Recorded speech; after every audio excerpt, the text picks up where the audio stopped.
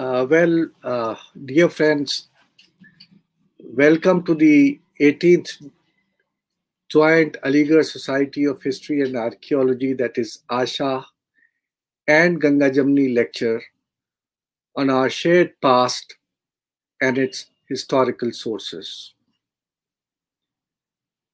Today, we have a scholar who teaches at University of Exeter UK, but has origins in the Indian subcontinent.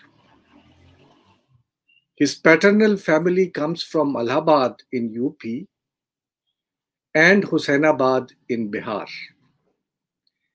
While from his maternal side, he has origins in a Gujarati family settled in Zanzibar. He truly represents a cosmopolitan background. Dr. Sajjad Rizvi is an associate professor of Islamic intellectual history and the director of the Center for the Study of Islam at the University of Exeter. An intellectual historian who specializes in the history of philosophical traditions in the Mughal Safavid period. He has published two books on the philosopher, well-known philosopher, Mullah Sadra Shirazi, who died in 1636. His interests extend to the study of mysticism, Quranic exegesis, as well as the nexus of poetry and philosophy. He did his BA uh, from history and MPhil in modern Middle East studies from Oxford. His PhD was, however, completed from the Pembroke College at Cambridge. He is currently completing two monographs, one on a diachronic study of discourses on time in Islamic thought and the other on philosophy between Iran and North India in the long 18th century. I came in contact uh, with Sajjad at the Shia Institute at London for the first time in 2016, where both he and I were the fellows and participants in a symposium which was held by the Institute.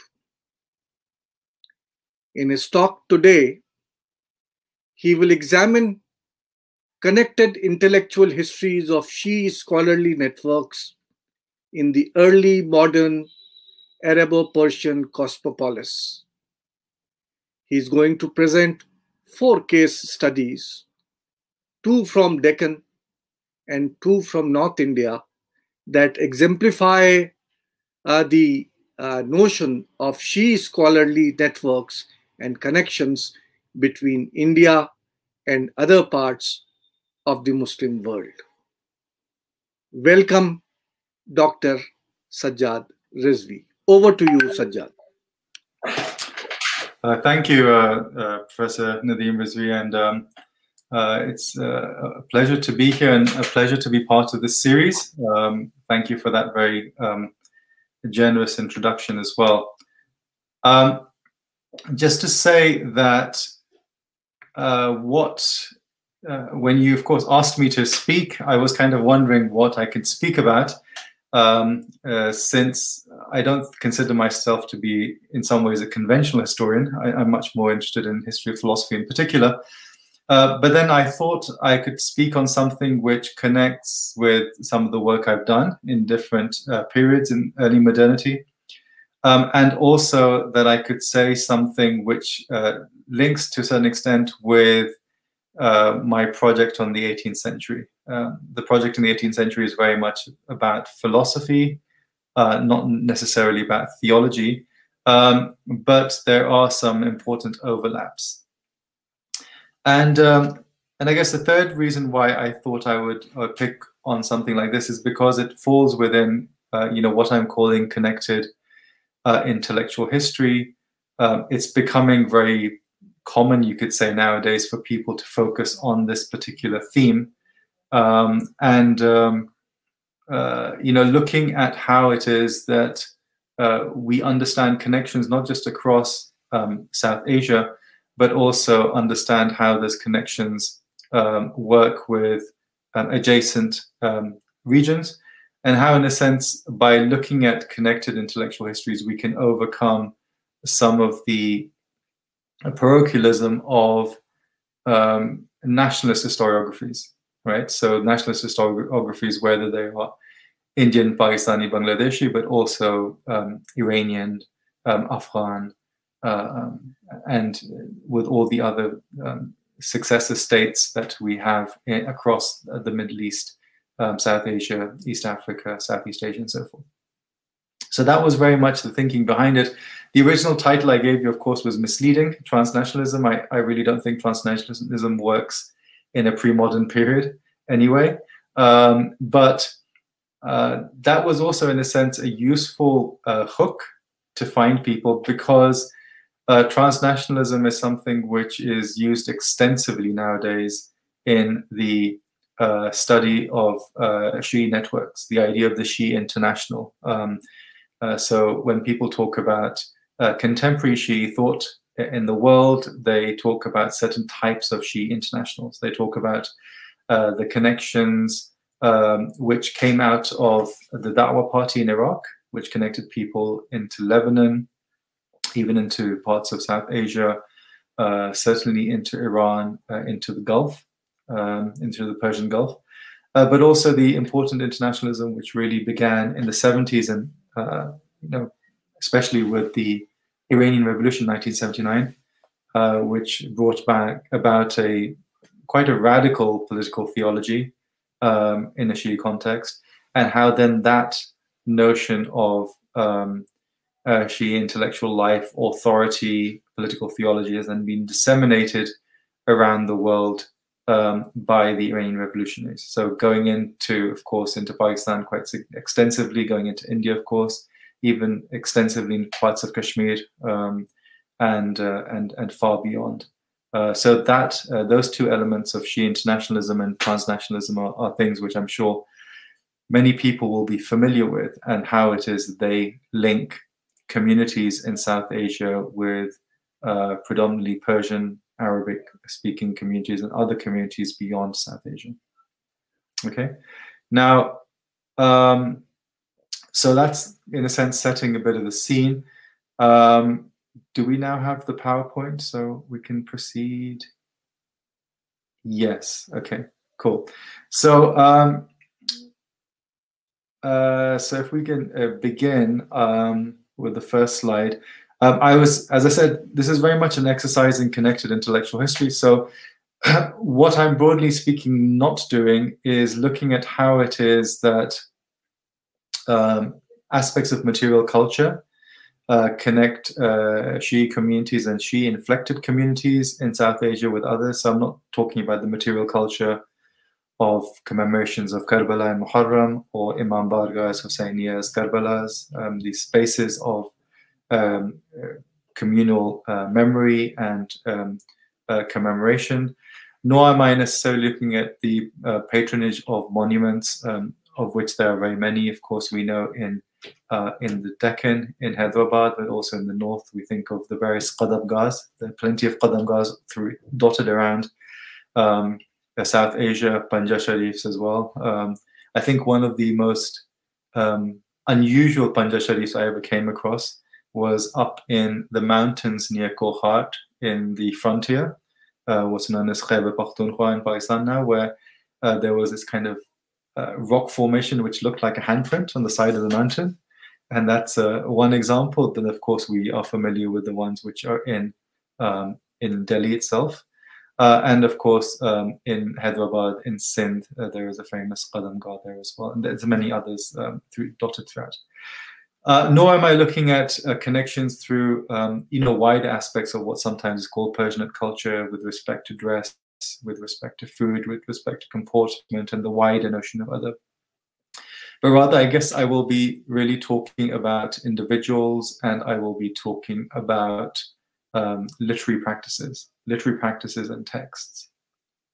So that's just kind of to set the scene of what it is that I'm not doing.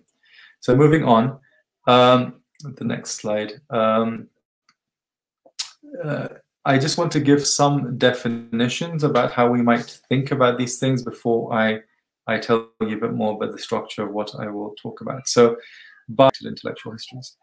Uh, we're talking about uh, polycentric and multilingual transmissions and production of knowledge. Uh, that's absolutely central. Um, uh, transmission and production, quite simply, because it's not always just about production. The the internal claims are always about transmission, as we know. Um, a, a, lot of um, pre-modern um, intellectual uh, cultures are based on the idea that they are uh, merely glossing or merely transmitting or imitating work in the past. They're not always focused very much on saying that this is something which I've come across, which is new, but rather they're connecting and they're perpetuating what they consider to be a tradition. And that uh, is true uh, whether one's talking about uh, intellectual rational pursuits or whether one's talking about more scriptural ones.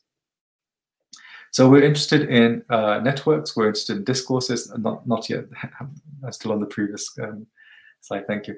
Um, we're interested in networks, discourses, contexts and texts, which can connect these sorts of languages and centers between North India, West India, and the Deccan, across uh, Indian Ocean systems, uh, across the Arab Peninsula, uh, the importance of Yemen, um, but especially the Hijaz, the, um, the, the two cities of Mecca and Medina.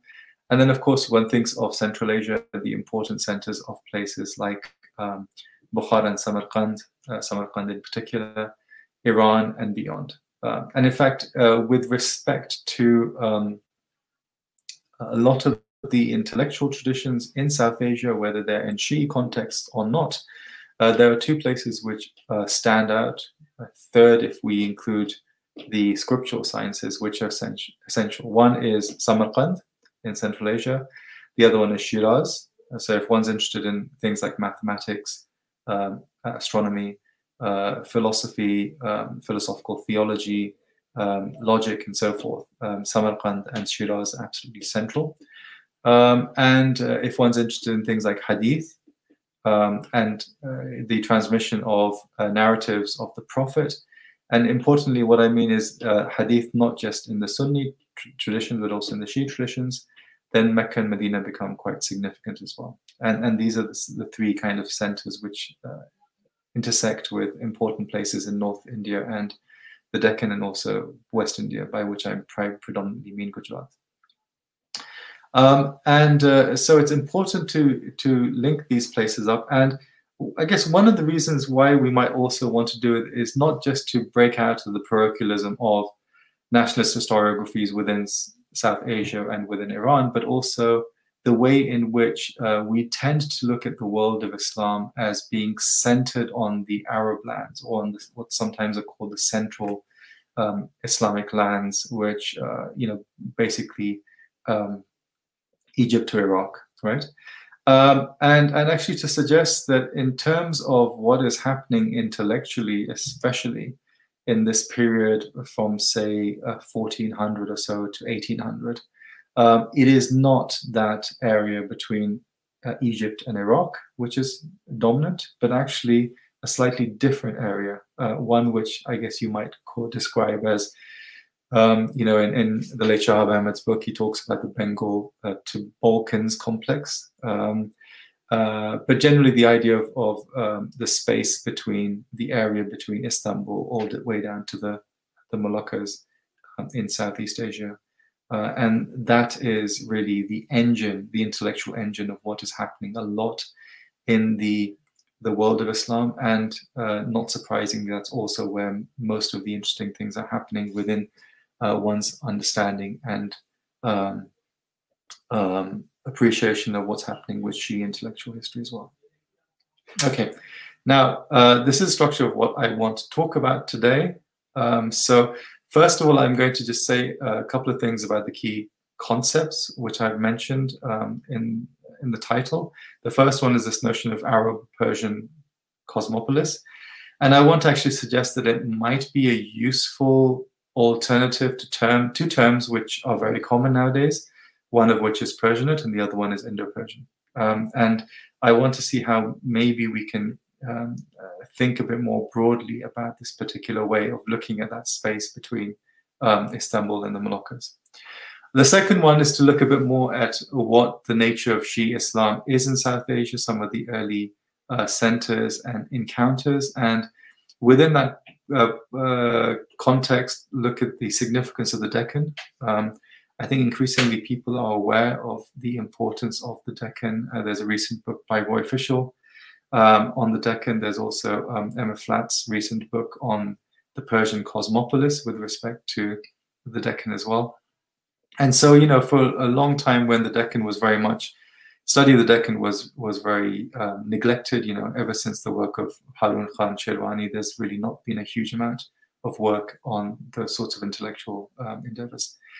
And then uh, something uh, further about what the nature of these networks have been and how, in particular, they link up with the, the Shia shrine cities. Um, one thinks especially of the shrine cities in Iraq, um, which in much of this period was actually under Ottoman control um, but also uh, looking at uh, the shrine cities in Iran. And then I will follow that by looking at uh, four particular case studies of how these networks develop, how particular individuals make these connections across the board. And two of the um, case studies are uh, individuals uh, in uh, the Deccan, broadly speaking, although they were not um, entirely unfamiliar with what was happening further north.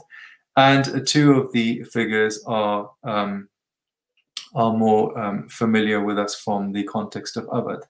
Um, and in fact, they come in at the point where, although I, I did signal before colonialism in the original title, in a sense, they straddle the colonial period. So they they uh, were active in that period, which uh, which saw the beginnings of um, uh, a significant British presence and political authority in North India, uh, and then eventually even straddled the, the beginnings of formal empire um, after 1856 uh, and 57 uh, in the north. So that's basically the structure of what I, I want to talk about. So the first point uh, is to begin with um, this these terms, Persianate, Indo-Persian, Arabo-Persian cosmopolis.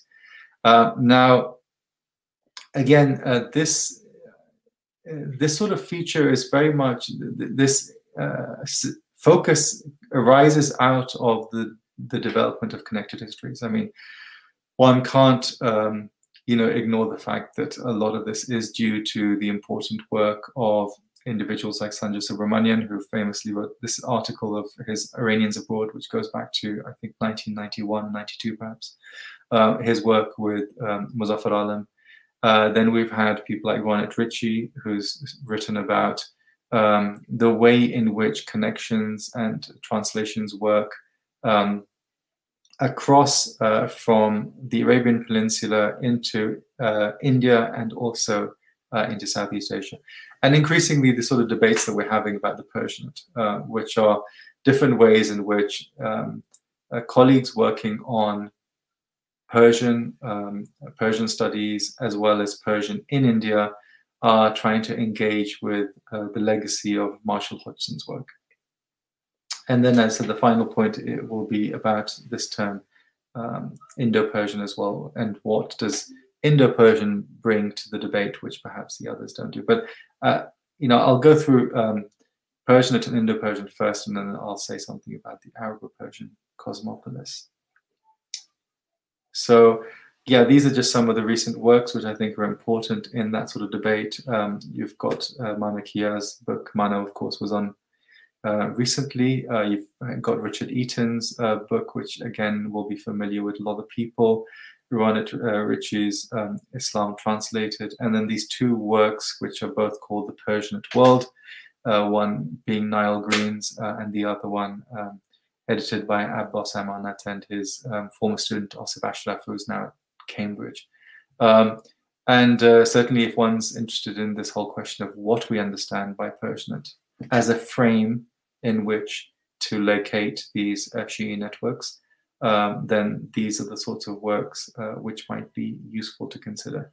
Um, I think one one small um, clarification is is used, and, and this is raised in in um, the Amanat work in particular, is that sometimes people, and a number of others raise this, that sometimes when people talk about the concept of the Persianate, especially in India, or the the Iranis, um, there's this assumption which is broadly speaking ahistorical, uh, that um, Irani means uh, Shi'i, uh, it uh, means uh, association with very particular spaces um, in Iran, um, and it's juxtaposed with those who may be either uh, emphasize the Arabic or emphasize other kinds of origins, either local origins or origins in Central Asia and elsewhere. So, if you do not describe describe yourself as being Persianate or Irani, you are somehow by definition Sunni, perhaps Central Asian, um, perhaps um, linking oneself to Yemen and so forth. And it's really not that simple. Um, the the concept of Persianate that uh, I am more interested in, which uh, is, is somewhat limited uh, in the way it's normally used, um, would actually embrace Yemen and Central Asia and other places as well uh, and is not a straightforward sectarian distinction between whether one's a Sunni and whether one is, is Shi'i and the connections that one makes within the context. So first of all, the, the word Persianate, as we all know, the, per, the word, um, I suspect you will have discussed this with Mana and others, so I'm not sure I need to say very much about this. But i am just going to say a few quick things about uh, the term Persianate. As we know, it's first used by Marshall Hodgson in his famous The Venture of Islam, which I think still remains a very important historical study of um, Islamic civilization. And he's talking about this zone uh, from the Euphrates to the Oxus, um, and he describes it in, in, in, terms of culture and language. Um, and so um, it's a useful way, as I mentioned, of breaking down and going beyond national histori- nationalist historiographies of course, the question is whether it overemphasizes Persia and, and Persian as a language itself. Uh, there's another question about whether it establishes new canons um, which replace other canons. So whether those canons are of um, Sanskrit or vernacular languages, you know, opposed to say um, uh, the notion of the Sanskrit cosmopolis, which we'll come to in a second, um, and um, and also uh, replacing the perhaps the hegemony or the significance of Arabic. Uh, but what is important, perhaps in terms of the practices, is uh, how it is that um, Persianate brings uh, to attention certain key texts which become significant across this Persianate zone, right? So one talks about thinks about Divan Hafiz. Now, Divan Hafiz, it's very timely, um, as some of you will definitely know. Uh, it is Shab Yalda, um, in, in India, definitely is Shab Yalda because it's night. It isn't quite here yet. Um, uh, Shab Yalda, of course, is the winter solstice. Uh, the actual time uh, is around 10 o'clock tomorrow morning. Um, and as uh, we know, um, Iranian peoples of different types uh, celebrate both the spring equinox, which is Nowruz, uh, the 21st of March, and they also celebrate um, Shab Yalda on the 21st of December.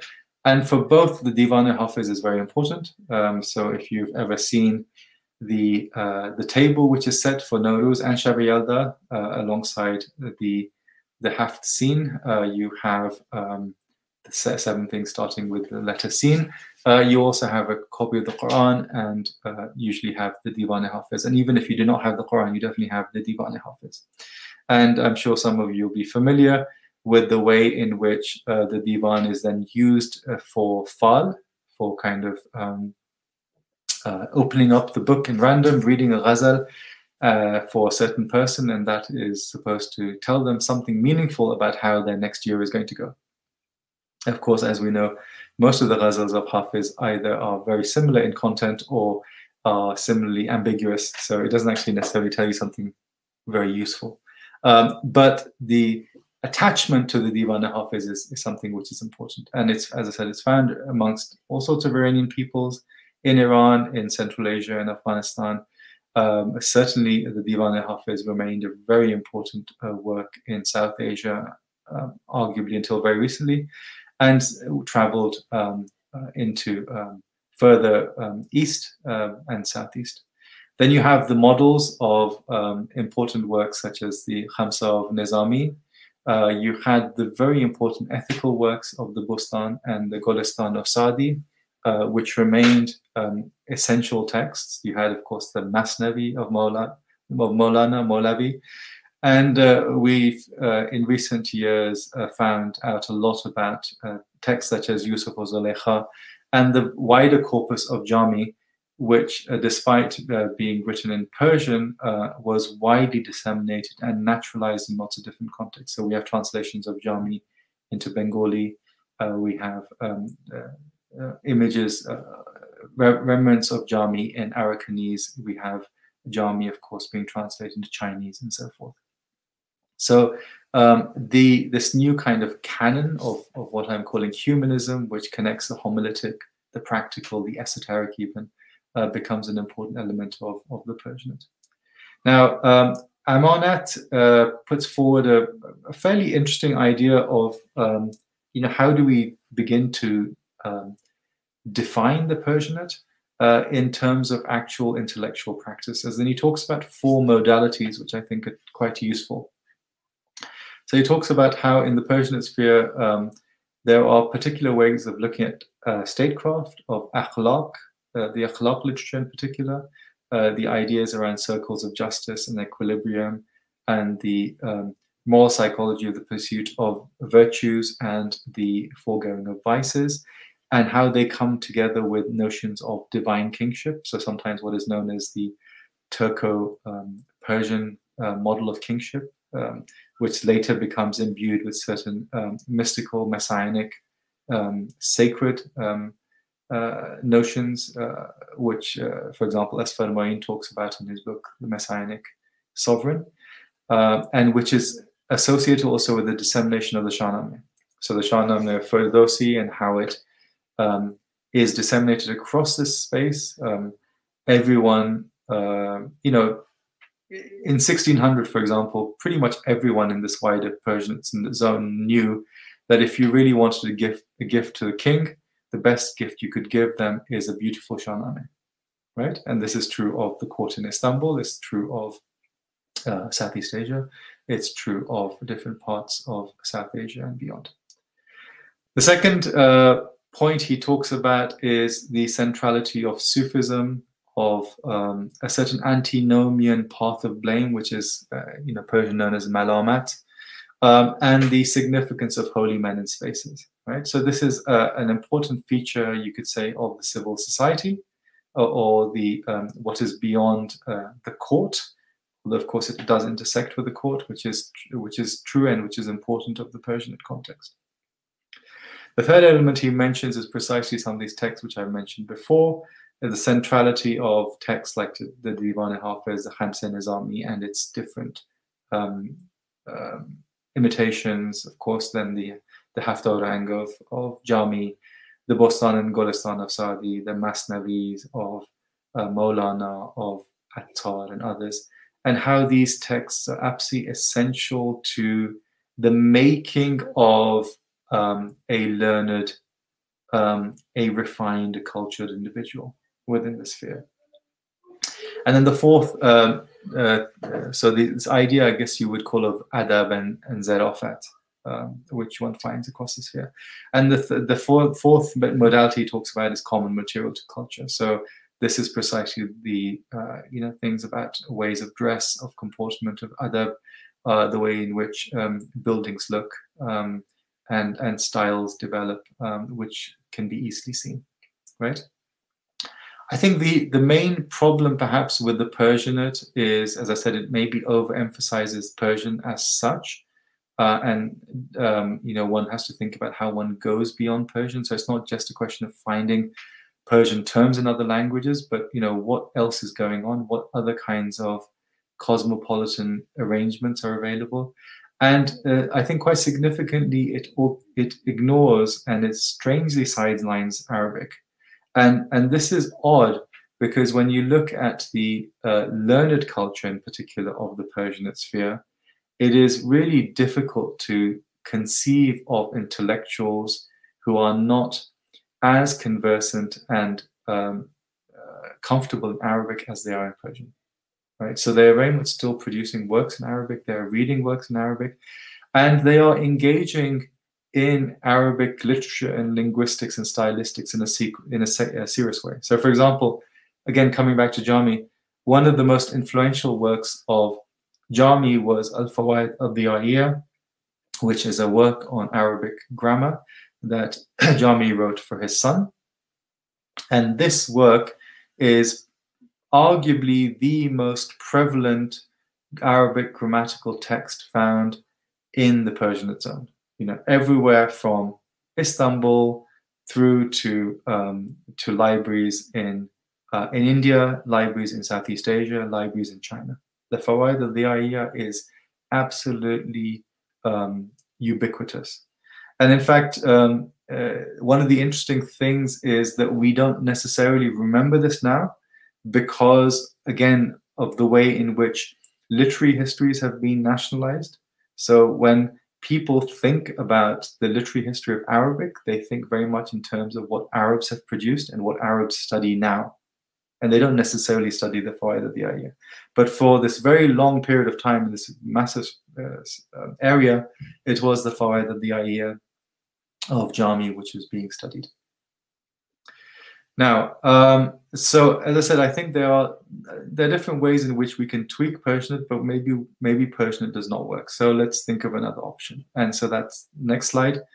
Um, oh, so this is a, a picture which I cribbed off um, uh, Richard Eaton's book, um, which is a nice like picture which shows you uh, his conception of the Persianate world, and it's quite interesting the way in which Arabic and Arabian is actually um, inserted or inscribed in this. Okay, the next slide.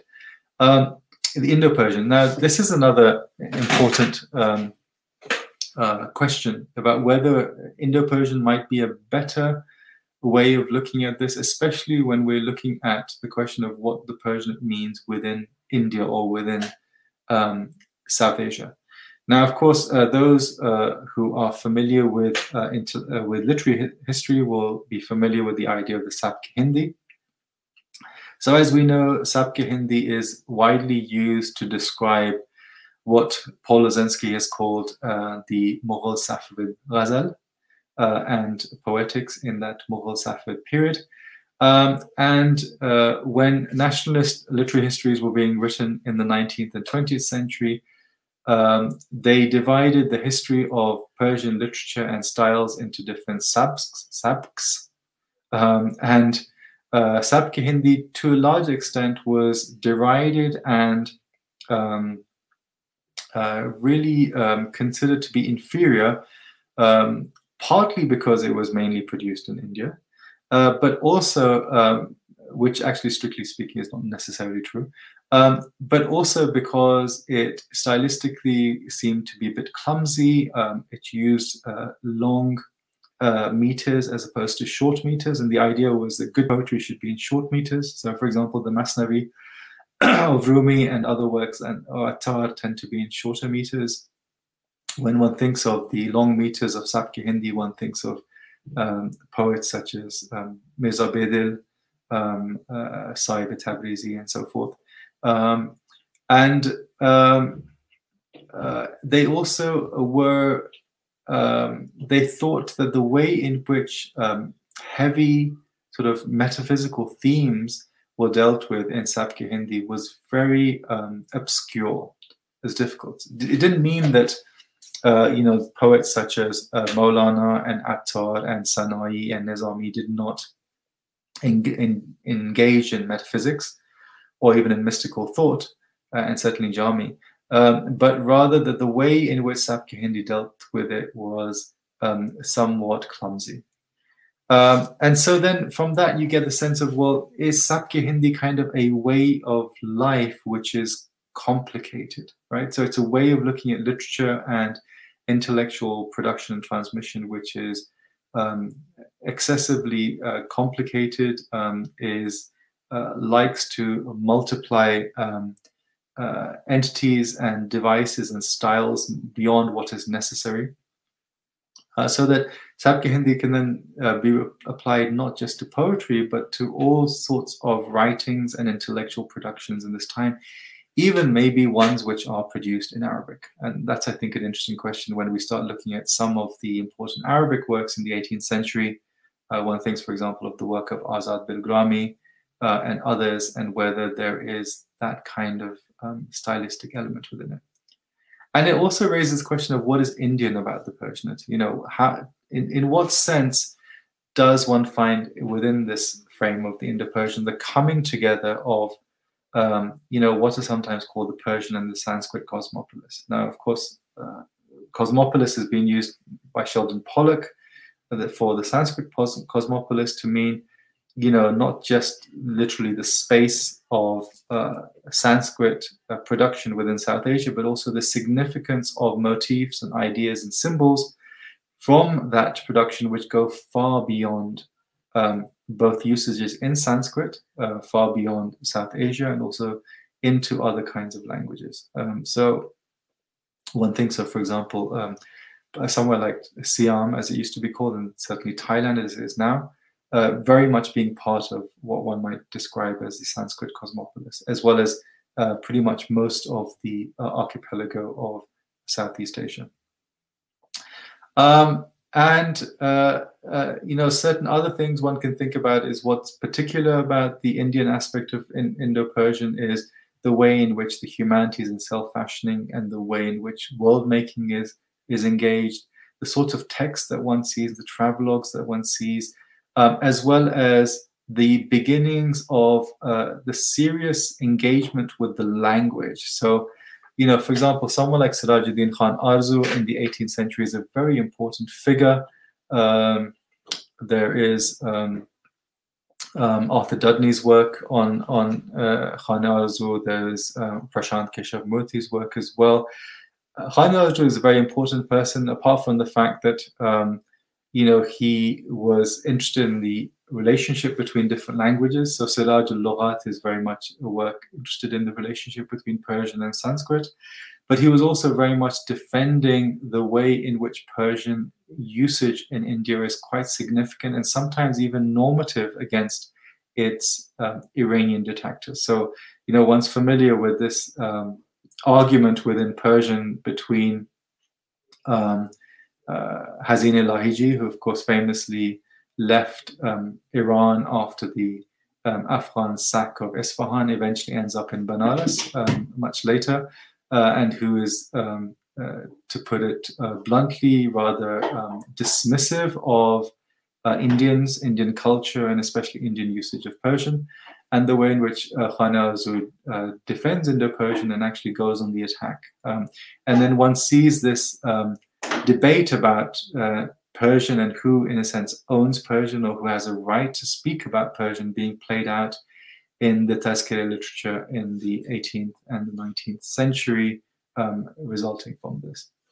Um, and also, you have the very important works of uh, Azad Bilgrami, who I've already mentioned, uh, not just his kind of Arabic praise of, of Hindustan, uh, Subhat al Marjan fi Athar Hindustan, which is still a relatively understudied work. There are a number of editions of this text now. There's at least one Aligarh edition, and there are two editions produced in Iraq, um, and there, I'm sure there are plenty more. And these are um, not to include the lithographs. I've got a picture of the lithograph here, um, and his Ghazlan al-Hind, which is about the, the poets of India who were engaged in Arabic and also in, in, in Persian. So the way in which um, you know uh, those who were very much in India uh, thought that they had as much right and uh, and authority and control over uh, and even a certain normative understanding of the language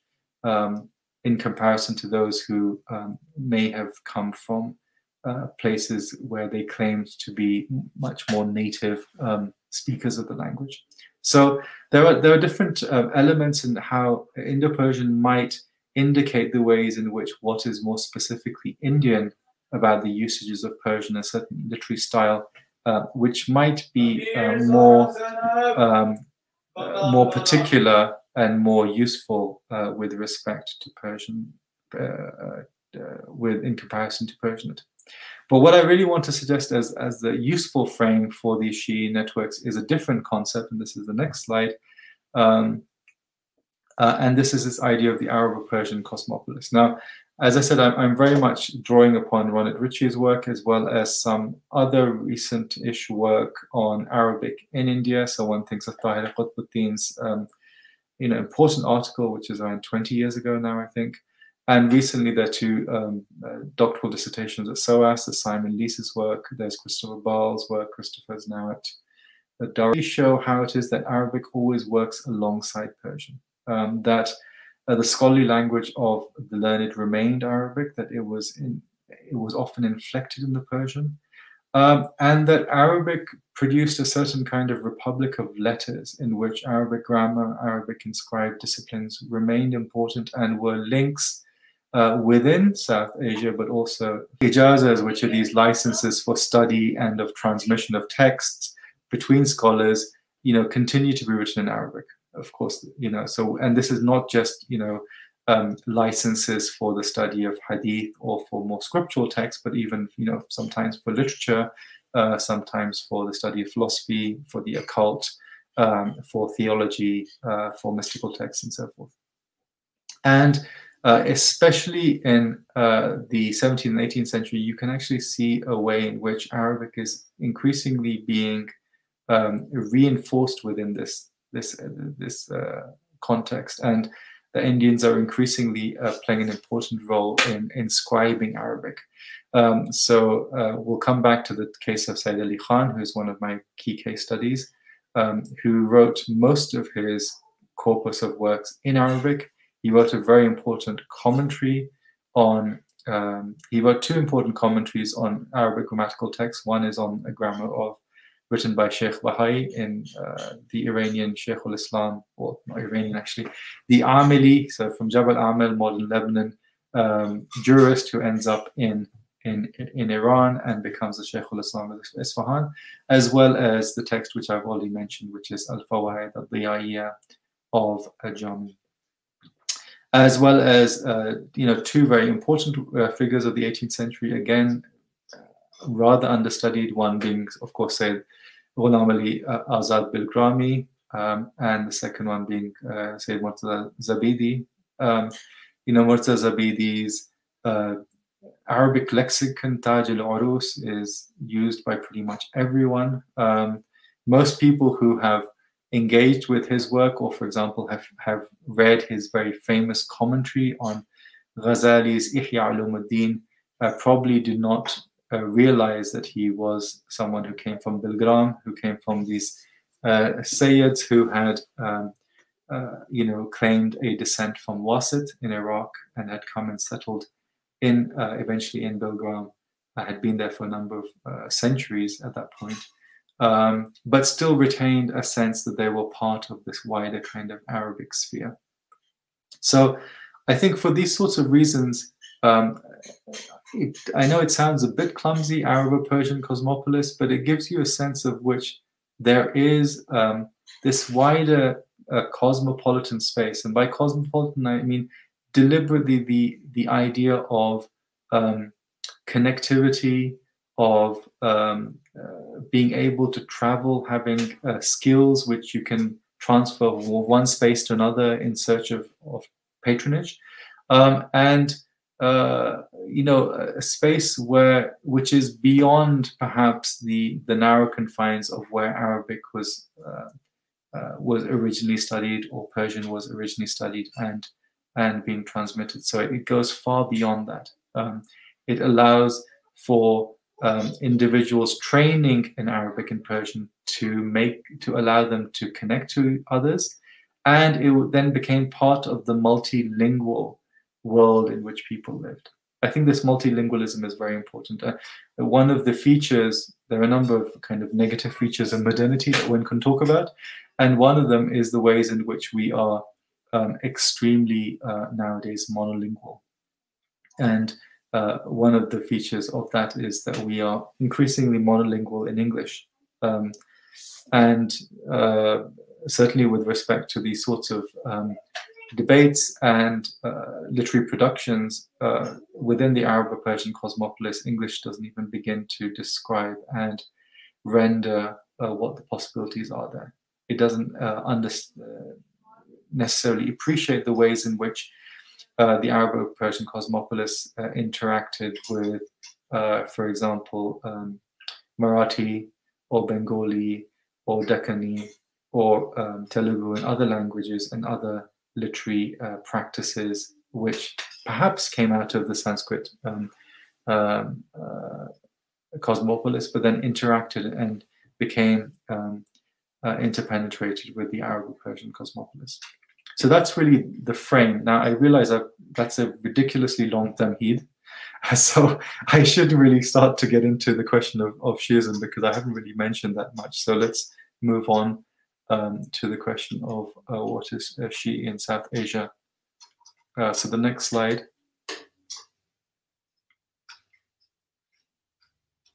Yes, so um, just a, few sort of general points which I want to make about Shia Islam and the Arab-Persian cosmopolis, and then we'll uh, say a few things uh, related to that on uh, the Deccan and uh, the, sh the shrine cities. So obviously we have this wider theme of the devotion love for the family of Prophet, of shrines and, and pilgrimage to those centers, but also their, um, their um, uh, replication within South Asia, the role of descendants of the Prophet, Sayyids, as kind of mediating holy figures. We have uh, the dissemination of the learned culture of, of, um, of Islam, so not just the key Arabic texts, the original texts um, being uh, disseminated within uh, India, uh, but also the process of vernacularization, so how some of the key works were then translated into Persian.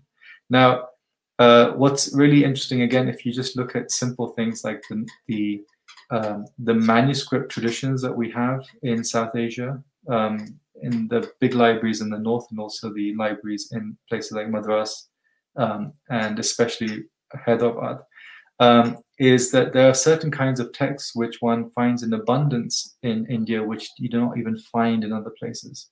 Um, one very simple example of a text which um, has survived in eight manuscripts um, is what's known as the Tafsir of Imam Ja'far al Sadiq.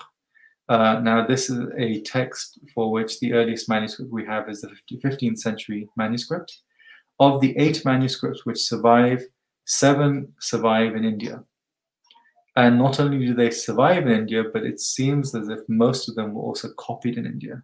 Um, so that tells you something about the interest and about the, the idea of preserving tradition with respect to Shia Islam which was uh, present um, in South Asia, um, which is quite significant. And you know, this is not to kind of go into this debate about whether this uh, famous Quranic commentary actually goes back to the time of Imam Jafar Sadiq, so you know, very early on um, in the 8th century, but rather to show that this was uh, considered to be an important text. And also the contents are very much um, consistent with what uh, one sees of classical uh, Shi'i Quranic commentary. So if you compare it to the other famous commentaries of the the 10th and the 11th century, there is a, a large overlap in the in the material. And then, of course, you have the Arabo-Persian poetry of praise and mourning, which is quite important, and their inflections in different kinds of um, Indian vernaculars and so forth. Now, uh, so moving on to the uh, two other, two further features of uh, Shia Islam in the Arabo-Persian cosmopolis. So this is the next slide. Um, uh, we'll skip this. Next slide. Uh, so uh, again, what I want to stress, and this is significant, is the importance of the Deccan. Um, the Deccan is really where you have significant um, early encounters of um, of uh, Shia Islam and the intellectual production. Now, I I haven't mentioned, of course, uh, Multan and the Ismailis in the Punjab and Sindh, uh, which is much much earlier, um, and that will kind of take me way beyond, um, you know, if one was going to do a full historical survey how this develops, it's just not possible in this short period. I'm already trying to cover far too much. Um, but there are um, some studies of that and how, in fact, the um, uh, what we see from that period in Multan and in southern uh, in southern Punjab and Sindh um, still has uh, an important role in understanding the nature of culture, of she or she inflected culture, even well into the modern period, and the way in which, um, uh, for example, the role of descendants of the prophets, of Sayyids, of shrines, of the ways in which uh, Sufi practices, uh, Sufi practices are then intersected with uh, types of um, uh, kind of antinomian practice, like amongst Qalandars, as well as uh, connecting with different kinds of Indic devotional uh, practices in Bhakta, in forms of yoga, um, in um, also in some devotional aspects of, of Vaishnavism and so forth. And um, I'm sure this has come up in in your other talks, and there will be more talks. I'm sure which deal with this uh, in the in how it is that, particularly within um, a Sufi milieu, um, you have these very important interactions with Indic uh, themes and ideas, um, and it's certainly an important element of um, this very significant recent work by Shankar Nair, uh, translating wisdom, uh, which does that, particularly with respect to the Mughal period. So uh, the Deccan, uh, the earliest uh, uh, kind of interactions one has is in the, the Bahmanid period. So this was the important, um, I guess, um, uh, sultanate which arose um, out of the Tughlaqs. Um, they had a very important relationship to Shiraz. Um, uh, you've got the influx of Persians coming in as part of the intellectual elite at court. you have the uh, figures such as Fazlullah Inju. You've got the um, beginnings of links with uh, the study of philosophy in places like Shiraz, the Maqulat coming in. You have the holy men, the Ni'matullahis in Bidar. Um, uh, you know, at this point in the early period, uh, the Ni'matullahi order would not necessarily have been Shi'i, but they're gradually becoming uh, a Shi'i order. And of course, you have the patronage of rulers and giving gifts to Karbala and to Najaf, to the, the important shrines in, in Iraq. So you've got Ahmad Shah's um, bequests, um, which, you know, are uh, 300 years before the very famous Awadh bequests that everyone knows about uh, from the 19th uh, century.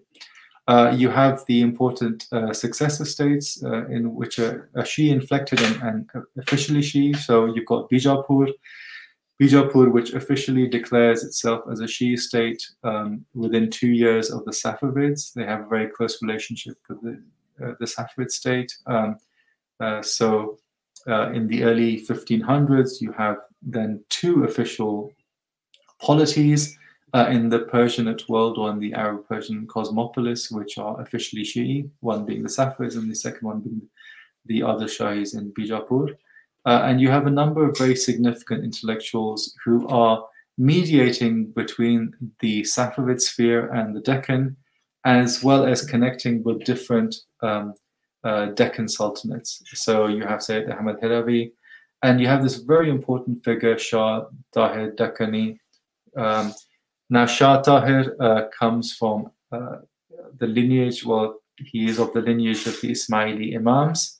Um, uh, he is sometimes claimed as being a rival to the Imamate. Um, so he had very important links in the Safavid state because the, what we know about the the Ismaili Imams in that period from um, Anjudan uh, near Mahallat is that uh, they were um, like the Ni'matullahis um, uh, in uh, Bijapur, uh, the Ismaili Imams uh, presented themselves kind of as Sufis and were uh, were linked to the Safavid state. There's a lot of intermarriage with the Safavid elites. Um, and Shah Tahir, of course, becomes uh, an important um, intermediary between the Safavid state and the different um, sultanates in the Deccan, the Nizam Shahis, the Adil Shahis, uh, and, and others. Um, we have, of course, um, his designation as an ambassador. And of course, he's also one of the most significant um, early figures who is teaching uh, what by this point is considered to be the dominant Shi'i theological texts um, of Arabic uh, in the Deccan. So he's teaching the texts of Nasiruddin Tusi and um, Allama Hilli, um, and he's basically disseminating, uh, interestingly disseminating 12 Shi'i ideas and texts, despite the fact that he himself is an Ismaili Imam or claimant to the Ismaili Imamate. Um, again, there's much more that could be said about Shah Tahir, um, but uh, we should uh, skip. Um, and then you have conceptions of Shia universal and not not skip yet. Uh, you have the Qutb Shahis and Hyderabad, which of course is perhaps the best known example. Um, the foundation of Hyderabad, the patronage, the poetry of the Qutb Shahs themselves, and the the massive um, translation movement. I mean, this is one of the big translation movements which is happening in this period. A lot of people know about the um, uh, the Perso-Indica projects, you know, Sanskrit into Persian in the Mughal period.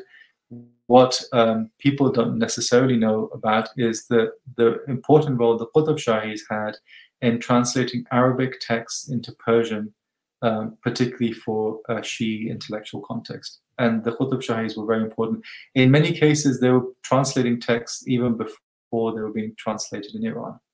Um, and this is true of a number of the very significant collections of hadith and so forth. And then moving on to the next uh, slide. Um, so yes, so we have these famous Gilanis and Astarabadis in the Deccan, uh, of which there are many. I mean, they could have been part of the, the mix of uh, my case studies. You have Hakim Ali Gilani, you have Mir Momin Astarabadi, you've got Ibn Khatun Amili, um, and they show the way in which uh, intellectuals in this period, even though they are based predominantly in the Deccan, are very much linked with these other important spaces. Jabal Amil, uh, modern day uh, Lebanon, um, Iran. Uh, Mir Momin Astarabadi comes from Astrabad. He's related, he's a nephew of Mir Fakhruddin Sammaki. Sammaki is a Sheikh al-Islam of Mashhad. Um, very important philosopher theologian himself. He's also a kinsman of uh, Mir Abul Qasim Fendereski and Mir Damad. Mir Damad is um, a very significant figure in Iran, and also uh, his works then are disseminated into uh, North India much later. Um, Mir Abul Qasim Fendereski, of course, uh, we know about his interest in the in the yoga tradition. So, you know, his Muntakhab uh, Jog uh, Vashisht, is a well-known text, and his interest generally in Indic practices, his many trips to India, uh, his um, um, uh, audiences with Shah Jahan, etc., which which we all know about. Um, so Mir Momin's a, a, really important figure. Ibn Khatun Lami is also a very important figure, not just because of their translations and their dissemination of, of the intellectual production of Shiism um, in the period, but also because they were politically extremely significant figures at court. So Mir Momin was the Peshwa. Um, uh, Ibn Khatun Amili um, succeeded him in a sense uh, a bit later as well.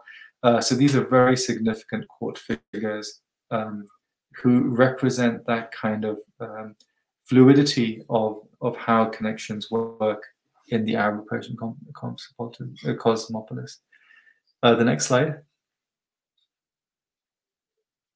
Yeah, I think we'll we'll skip this. We'll come back. I mean, I, I've written about this, of course. Uh, Nadim Saab has also written about um, Qazi Nurullah Shustri. Of course, his, his late father um, wrote a very important work on uh, Qazi Nurullah Shustri. But I will I will skip this because that would have to be a completely different paper, and there's quite a lot to say about that.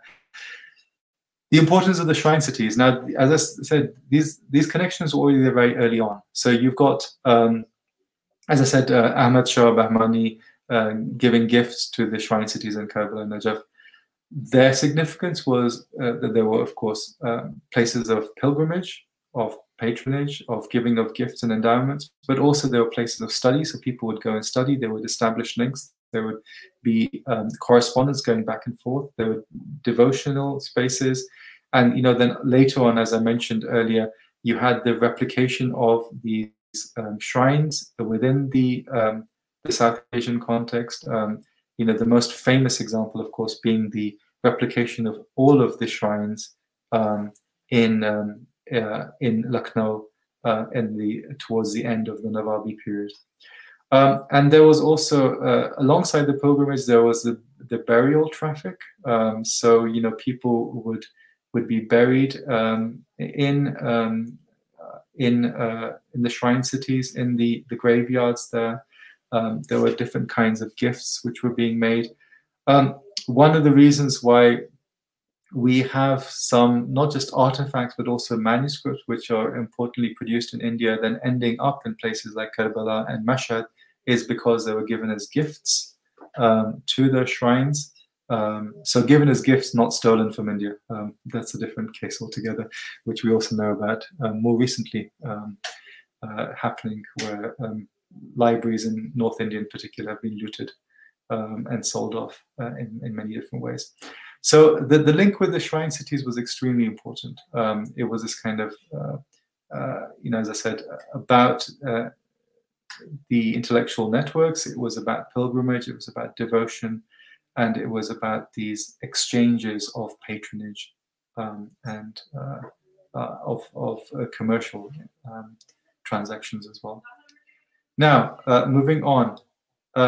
I hope I've kind of set the scene sufficiently, right, to go to our case study. So we've said enough about what I understand by the Arabo-Persian cosmopolis, said enough about the features of, of Shia Islam and intellectual traditions within uh, South Asia. And now looking at uh, the four examples of um, uh, figures who were extremely significant in this kind of exchange. So the first one I have is Sayyid Ali Khan Madani, uh, Sayyid Ali Khan Shirazi Dashtaki. And he was a figure who was, in a sense, circulating between Shiraz, Medina, Hyderabad, Isfahan. I could also add to that Yemen, uh, Mocha, Aden, um, sorry, Mocha in particular, and um, uh, ports in um, Burhanpur at some point. Uh, he's in Burhanpur and other places as well. Uh, he comes from a very form, uh, prominent Dashtaki Sayyid family of Shiraz. Um, uh, so their network includes people like Mir Fathullah Shirazi. Fathullah Shirazi, of course, um, moved to the Deccan and then later ended up in the court of Akbar. He is, uh, you know, uh, uh, credited with popularizing the study of philosophy, Islamic philosophy in the north. Um, they had this very prominent um, uh, curriculum model which came out of the Madrasa Mansuriya, which was established in Shiraz in the late 15th century. And this was a way in which the study of philosophy and the intellectual sciences was balanced with the study of scripture. And the descendants of the family were significant in Hyderabad, in Shiraz, in uh, Medina. Uh, there are descendants of the family in Iraq, uh, in Lebanon as well nowadays. Um, and one of the important um, studies of the family is by the descendant uh, in the who died in 1892, if I remember correctly, Mirza Hassan Fasai, he wrote the Farsnama Nasiri, which is kind of a gazette of Fars, which is the province in which Shiraz is found. But it also has a very important study of the family and the links that the family had beyond. Uh, we also know that other uh, figures in the family were linked to the Qutb Shahis and the Safavids. Um, they were also linked in the mediation of establishing marriage links between the Qutb Shahis and the Safavids. So these are, you know, significant, significant individuals. Now, Sayyid Ali Khan himself, uh, and as you can tell from that title, Sayyid Ali Khan, this is the title that he's given in Hyderabad, um, was born in Medina, uh, and he's a very significant cosmopolitan figure. So, on his mother's side, his uh, grandfather was uh, Muhammad ibn Ahmad al Manufi, who is a Syrian Shafi'i. Um, he was a Syrian Shafi'i Mufti of um, of Mecca, right? Um, and uh, of course, his father's side are these Dashtakis um, who've been going back and forth from Medina, Hyderabad. The, these two generations already linked to Hyderabad and certainly Shiraz. He becomes important in the study of Arabic literature. He writes a very famous um, work, the Sulafat al Asr, on poets uh, in the period. Um, and he's mentioned in a lot of the uh, on Arabic literature and on Arabic literary figures.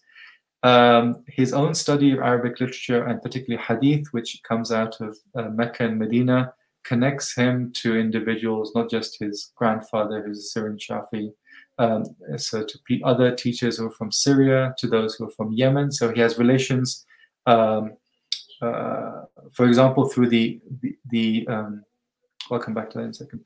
Uh, with the um, the Zaydi um, imams in the north of Yemen, but also with the the Ba'alawi Aidarus um, scholars who are in the Hadramaut. Uh, he has teachers who are from Bahrain as well. Um, and um, the other important link, which is a local one for him, is that the, the ruling um, uh, family who controlled Mecca and Medina in his time were known as the Banu Hassan, so they were descendants of Hassan, uh, the grandson of the Prophet. Um, and because of that link, there's a, a sense in which a, a lot of um, Sayyid Ali Khan's uh, network is also based on the fact that they are all descendants of the Prophet and they recognize themselves as kinsmen, regardless of whether they are Persian speakers or Arabic speakers or others. Um, that kinship is important, which links people from Syria to Yemen to the Hijaz, Bahrain, um, to um, uh, Southeast, to what is now Indonesia, um, uh, the Malay uh, world, um, West India, um, and the Deccan.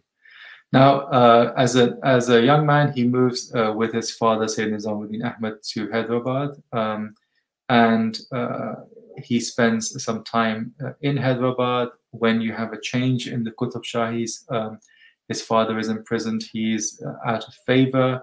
He finds favor for a short period in Burhanpur, and he keeps on going back and forth. He goes back to Medina and Mecca he goes to back to Shiraz and he studies and then teaches in Isfahan for a short period. And his students in Isfahan include uh, the Khatun Abadi family. So the Khatun Abadi family of scholars are related to uh, Majlisi, uh, Alame Majlisi, who's arguably the most significant, politically uh, significant um, scholar at the end of the 17th century in, in Safavid, Isfahan. Um, and also Hazin Lahiji. So Hazin, who is the famous poet and literary figure who ends up in India, is also a student of uh, Sayyid Ali Khan uh, from his time in Isfahan. And he writes a number of, of works which then connect these networks and uh, but also reinscribe why Arabic is important in this. So he has this very famous travelogue called Salwat al-Gharib, which is account of growing up in Medina, his, his travels in India, his travels in Yemen, um, his, his um, connections with people in Syria, and uh, of course in Iran. And he's not the only one. There are a number of other figures. Um, Marco Salati, for example, has written at least two or three books on figures from the 17th century who um, live between the Deccan, Yemen, uh, the Hijaz, um, Iran, and Syria. Uh, so yeah, some people like say the al-Amali and others, and they are they are figures who uh, are equally um, comfortable writing poetry in Arabic and Persian, and sometimes in other languages, um, and they connect uh, up these um, these figures, these these points of uh, learning uh, across these places. So um, so Sayyid Ali Khan is one very important figure. And, and for many people, he remains a very significant figure because he wrote perhaps the most popular commentary on As-Sahifa Sajadiya, which is this collection of, of uh, prayers, of supplications um, uh, associated with the fourth uh, Imam, Ali Zain al-Abidin. Uh, and it remains the most uh, uh, prominent um, commentary on that. Now, the next uh, case study, which is the next slide, is Nizamuddin Gilani. now, I will say that a lot of what I'm saying about Nizamuddin Gilani comes from this excellent recent Duke PhD by Hunter Bandy. It's a wonderful work, and I really hope that Hunter publishes it soon. It's um, a very serious study of Shiism, uh, natural philosophy, and um, I guess what I'm talking about, the Arabo-Persian cosmopolis uh, within the Deccan. So he is uh, a figure who is important in the study of medicine and natural philosophy, and of course in the study of philosophy itself. He uh, grew up in Gilan, which in that period, at that time, although it's part of the Safavid Empire, it's not entirely um, um, incorporated. So it's it's fairly kind of autonomous. He studied in Shiraz and Isfahan. Um, he uh, goes and studies and has pilgrimages in Iraq and the Hijaz and Mecca and Medina. He moves to originally to the Mughal realms in 1630 and becomes attached to Mahabat Khan Later in 1634, he moves to Hyderabad uh, and he dies in uh, Hyderabad in 1662. Uh, and when he is in Hyderabad, he uh, becomes an important person at court. He also becomes a Qutb Shahi ambassador. And in that um, office, he uh, visits the Ottoman controlled shrine cities in Iraq. Um, now, there is a very interesting text, and this text is on the left, the two pictures of manuscripts. The top one is his account of his teachers and significant intellectual figures that he knew. So he mentions Mir Damad and Sheikh Bahai and Mir Fendereski and Khalifa Sultan and Sayyid Abdullah Shushtari in Isfahan, all very significant figures of that period. Um, we've already mentioned Mir Damad, Sheikh Bahai, Mir Fendereski. Khalifa Sultan was the vizier under um, uh, Shah Safi and also under um, Shah Abbas II. Uh, then also he knows and meets uh, Muhammad Masoom Dashtaki, who of course is Sayyid Ali Khan's grandfather, um, and uh, Muhammad, Muhammad Amin Astarabadi, who is the famous Akhbari figure in Mecca.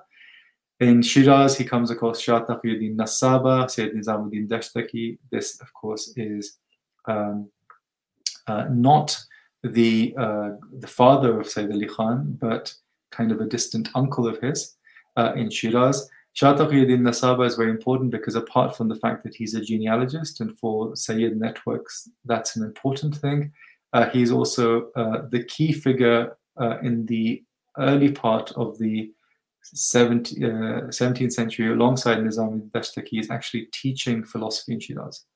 Uh, and then, of course, Hakim Ali Gilani and Sayyid Nurullah Shushtari in Agra. Uh, the other thing which he does is he uh, writes this massive commentary on the Nahj al-Balagha, which has never been published. Um, there are a few manuscripts which re remain.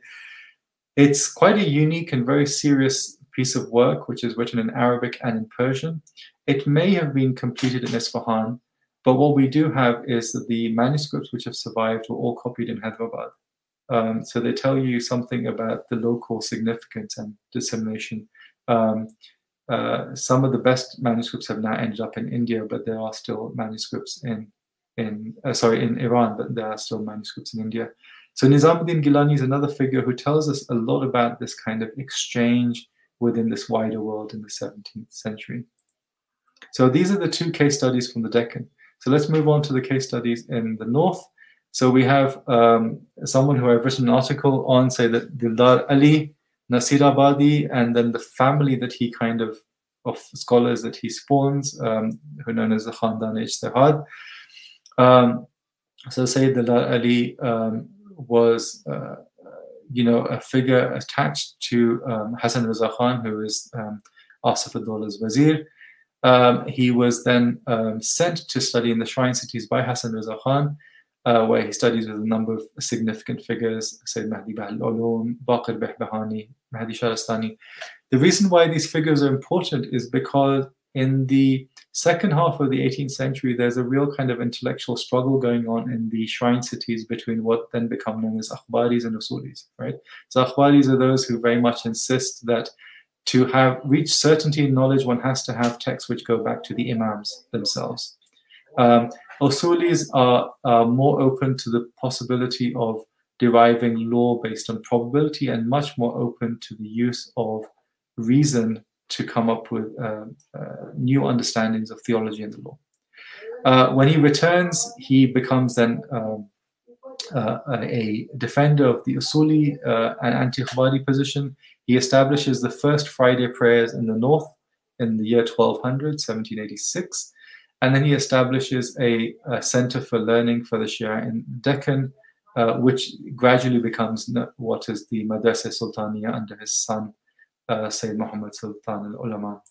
Um, now, Sayyid Ali was quite a fractious individual as well, uh, which we can see there's different kinds of debates he has. He, had, he has debates with the Farangi Mahallis, who, um, you know, those who came up with the Dars Nizami um, curriculum, the Maqulat, um, uh, so he, he engaged with them. He wrote this work called Imad al-Islam, which is the defense of Shia theology um, against the authorities of uh, Farangi Mahal. He wrote an anti-Akhbari work, Asas al-Usul. He wrote anti-Sufi works.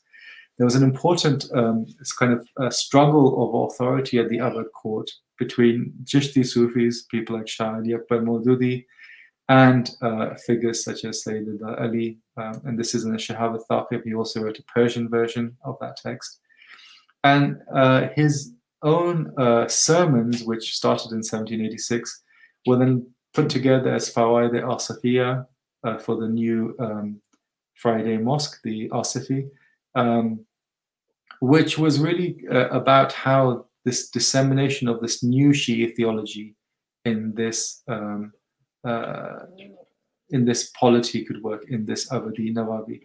Um, and in many ways, what it shows is uh, the attempt at introducing uh, the practices, the rational practices of the shrine cities in Iraq into to North India and really establishing. And so, um, in some ways, one of these you know consistent struggles amongst Shi scholarly elites in across South Asia, but especially across the north, across Hindustan, since the uh, 19th century, has been very much between those uh, you know who consider the authority of the shrine cities to be paramount, and those who are far more interested in the way in which local uh, practices, authority, uh, veneration, patronage works. And sometimes this plays out as a Sufi versus anti-Sufi uh, debate, or Sufis versus mullahs, if you want to call it that, um, particularly in places like the Punjab, uh, but also in parts of, of UP. Um, but it also sometimes plays it uh, out in theological terms in what's known as the Sheikhi debate. Now, I don't want to go into that, but it's it's really, you know, about how one sees the the role of the the imam and how one accesses it, whether one needs to go through authorities in the shrine cities or whether one has a more direct um, um, access. My last case study, um, and I realize I've been talking for far too long. Um, yeah, these are, I, just want to show you two examples of ways in which these connections between um, the Khandan Ijtihad and the shrine cities work. So this, for example, is uh, an, a case of an ijaza, the, uh, from Sayyid Ali Tabatabai to Sayyid Ali. Sayyid Ali Tabatabai was probably the most prominent jurist in uh, Najaf um, in the um, uh, in the later part of the 18th century. And then with the next uh, slide, uh, this is an example of uh, one of Sayyid, Ali, uh, Sayyid Ali's most uh, significant sons, um, Sayyid Hussein, known as Sayyid al-Ulama, and the correspondence that he has uh, with uh, Wahida Behbahani, who is the famous uh, Usuli figure who really kind of destroys the Akhbaris in Karbala, and Sayyid Ibrahim Qazwini, who is one of the first um, significant people to come up with a theory of legal, uh, a, legal theory which uh, establishes the authority of um, the Usuli trend um, within the shrine cities. Uh, these are letters in Persian. Um, one of the interesting things in recent years is that there is this um, Muassese um, uh, Shia Shanasi in Qom, which is increasingly turning its attention to works which are being produced in India. And so they have, uh, for example, edited the correspondence of the Khandan Ijtihad. They've edited a lot of these um, works. Um, uh, for example, Awraq al-Dhahab, which is um, Mufti Muhammad Abbas um, uh, Shushtari's account of uh, Sultan Ulama. They've um, uh, published uh, Ainai uh, Haq, uh, Ainai um, Haqnuma, which is a, a study of Sayyidullah Ali and others. And with, within those editions, they have um, also edited a lot of the correspondence, both in Arabic and Persian, which gives you a real sense of the connections that these figures had going into the shrine cities and also going into Iran. Now, the final um, case study is uh, the Musawi Kinturis. Now, um, uh, again, very famous figures. Uh, Nishapuri um, descends of the Prophet who uh, settled in Kintur in Barabanki in the 14th century. Um, uh, there are a number of figures who are important in the family. There's Mir Muhammad Quli, um, uh, who died in 1844, who acted as a judge for the British at Meerut um, and eventually becoming Sadr al-Sudur. Uh, he's related to the Shushtari al-Jazairis. Um, so I mentioned Mufti Muhammad Abbas. Um, in Awadh just now. Uh, he also had scholarly links with the Nasirabadis. I have a, an example of this in the next slide. Um, and he also wrote uh, some, yeah, so this is the, the famous correspondence between uh, um, uh, the Mufti um, Muhammad Quli, uh, Muhammad uh, Quli and um, Sayyid al-Ulama, uh, the son of Dildar Ali, who I mentioned before. So if you just go with, back to the previous slide, the pre- yeah, that's a thank you. So, and he has a number of important sons. The the, the one who's perhaps best known is Sayyid Hamid Hussain, who wrote this work, this very important polemic, um, Abaqat al-Anwar. Um, and uh, it was then his son, uh, Sayyid Nasir Hussain, who established the, the famous Nasiriya library in Lucknow. Uh, another son, Sayyid Siraj Hussain, acted as a uh, also as a British judge. He's one of the first individuals to embrace English learning translate works into Persian Urdu. Uh, his own son, Sayyid Karamat Hussain, then later became a professor at Aligarh. Um, and so this is, a, I guess you could say, a different kind of cosmopolitanism, which is starting to bring English learning into the, the mix as well. Um, and in fact, uh, I think it's very difficult to understand elements of Shi'i modernism, in, especially in, in North India or even in, in the Deccan, without the way in which English and English learning then becomes part of this Arabo-Persian cosmopolis. Um, and then the third figure, the third son is Sayyid Ijaz Hussain, who is very important in terms of biographies and um, bibliographies. So his Kashf al-Hujab al-Astar, which he wrote on the books of the Shi'i tradition, which are available in India, actually tells us quite a lot. Um, it predates um, uh, other bibliographies for by quite a long time. So, uh, you know, nowadays most people use Ad-Dariya of Agha Buzurg Tehrani, but Kashf al-Hujab al-Astar remains a very important source for what the Shia tradition was, not just in India, but also across this Arabo-Persian cosmopolis. Uh, he also wrote Shudur Yan, uh, Shudur al-Ayan fi Tarajim al-Ayan, which is on biographies, which tells us a bit more about the networks seen from India. Of course, there's many other sources which do this. I mean, I'm taking four cases, but if you look at texts, we we have so many texts, particularly from this period, the 18th and 19th century, which actually show how uh, the scholarship which is coming out of people based in India or Indians studying in the shrine cities is absolutely essential for the understanding of the Shia tradition. So, for example, later we have um, uh, Muhammad Ali Kashmiri and his Nujum al-Sama, which is a very important uh, compendium of biographies of scholars in the 19th century, which includes a number of, of, of cases of those who were in, in India. Uh, you have um, um, different continuations of, of Amal al-Amil, 17th century. You have continuations of Sayyid Ali Khan's Ad-Darajat al-Rafi'a um, in the 19th and 20th century which again, uh, you know, place um, uh, the Indian um, uh, Shi'i um, scholarly elite within this wider kind of network of, of, of people in different places. So just to come to some uh, concluding remarks. Um, so if you skip, yeah, that's it. Yeah. So, you know, text and context are important. Um, within this uh, Arabo-Persian cosmopolis and the Shi'i context, the curricula, the way in which Ma'qulat, the rational sciences relate to the manqulat, the six scriptural sciences, the processes of vernacularization of texts, the way in which political um, theology is understood, patronage, polities, and the sorts of sources that we have which help us understand these links, um, especially the correspondence works we have, um, and the ijazat, which tell us about the way in which individuals and texts traveled. Uh, the next slide. And so, you know, what I want to show is that if we want to uh, understand kind of con connected Shia intellectual histories uh, within this wider Arab-Persian cosmopolis, um, then, um, you know, the, the place of South Asia, of, uh, of Awadh, of the north, and also of the Deccan is extremely significant. And there's lots of um, uh, remnants and legacies of it.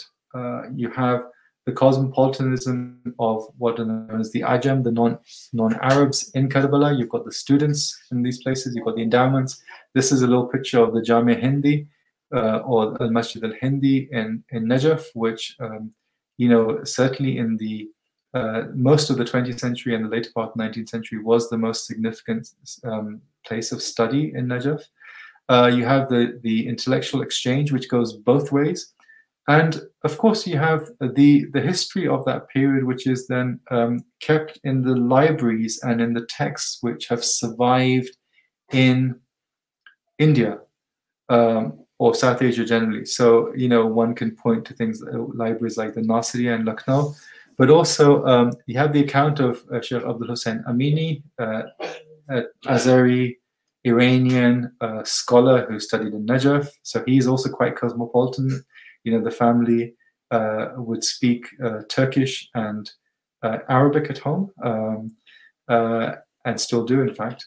Um, and he wrote this huge work, Al Ghadir, which is a, a, classic kind of Shi'i compendium of uh, the importance of the declaration of, of Ali ibn Abi Talib as a successor of the Prophet and uh, you know he he has a text where he he explains that he couldn't possibly have done this without um, his travels to India and uh, connections to uh, scholarly networks in India and access to manuscripts in India. So the modern uh, period of transnationalism has kind of forgotten some of these uh, links which are important, but a fuller connected uh, Shia intellectual history has to engage in precisely these sorts of um, archaeologies.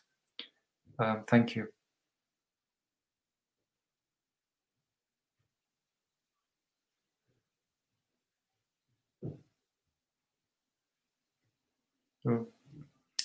Where's uh... we've momentarily lost uh, the connection with uh, Professor Rizvi. Um, there are a number of questions. Maybe we can take those. Sure. Uh, sure. To begin with, um, I think I'm going to begin with the first question that is, uh, can you read this on your screen? Hasnain yes. yes. Um, discussion, can you tell whether Awadh state had any relationship or con connection with the Safavid Iran? I think you've taken that up. And was the Shia influence in Mughal Empire of uh, Mughal Empress Nur Jahan? Yeah, so uh, in the first case, it's very simple. Um, the Safavids were pretty much finished. Um, so you do have Safavid pretenders and uh, Safavid descendants who end, actually end up in Lucknow um, and Banaras and other places. But yeah, there wouldn't have been a relationship between because the Safavid Empire came to an end in the 1720s, uh, which is really before Awadh really gets going. On Nur Jahan, yes, I mean, uh, again, a lot of people have talked about it.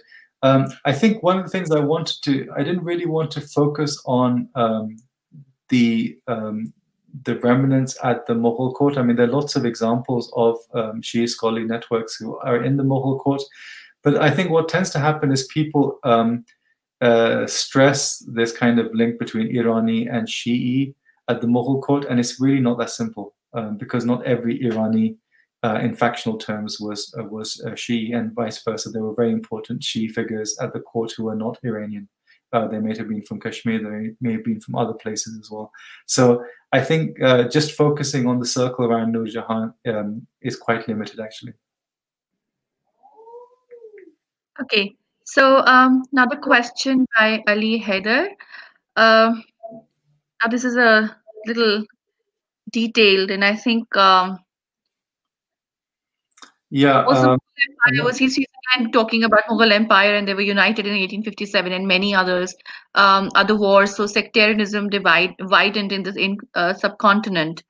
Um, Ali Haider, you'll have to send us a detailed question. Can you just split it in two parts so that we can read this out? Thank you. And there is a question by Mikey Nuck. Um, uh, since the eloquent medieval uh, Persian prevalent in India is now known understandable in Iran, is there some work on Persian inscriptions and epitaph, epitaphs and gravestones? I assume that that question is about inscriptions in India. Um, um, again, this is not an area I really work on. Um, there are many people who work on material culture, but uh, there are certain um, uh, compendia on these sorts of documents. So, I mean, Ziauddin Desai did, a long time ago did stuff on, on Western India and under the, the Gujarat Sultanate. Um, I'm sure there are works also on inscriptions in the uh, the Deccan. Um, but this is not something I really work on, and I, um, um, I, I this wider question about uh, whether Persian in India was understandable to those who are not uh, in India. You know, this is classically something that Hazin complains about in the 18th century.